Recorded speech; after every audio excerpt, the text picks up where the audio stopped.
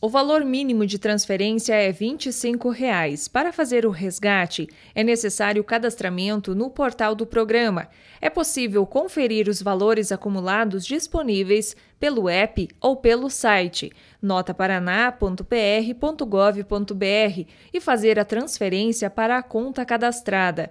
Os créditos do Nota Paraná podem ser depositados em contas do titular de qualquer banco do Sistema Financeiro Nacional desde que não seja Bolsa Família, cartão cidadão, conta fácil, conta benefício e conta salário. O Nota Paraná, vinculado à Secretaria de Estado da Fazenda, devolve aos contribuintes cadastrados no programa parte do imposto sobre a circulação de mercadorias e serviços, o ICMS, nas compras feitas no varejo e também faz sorteios mensais que totalizam 5 milhões em prêmios.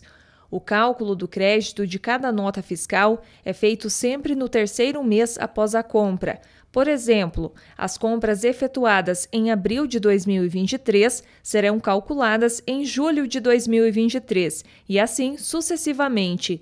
Mais de um milhão de contribuintes podem resgatar 105 milhões de reais em créditos do programa Nota Paraná.